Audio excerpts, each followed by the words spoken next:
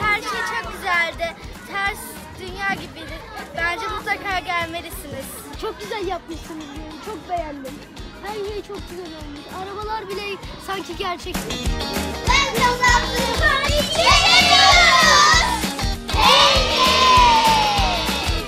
Biz Samsun Vezir Köprü'den geldik. Öğrencilerimizle birlikte 200 kadar öğrencimiz var.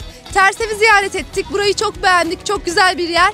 Herkese tavsiye ederiz. Ee, Ben geçen e, buraya gelmeden önce bir araştırdım nereler gezilebilir diye. İşte bu ters evi bulduk. Geldik sağ olsun arkadaşlar da çok yardımcı oldular. Çocuklar da çok eğlendi. Çok memnun kaldık. Teşekkür ederiz ilgililere.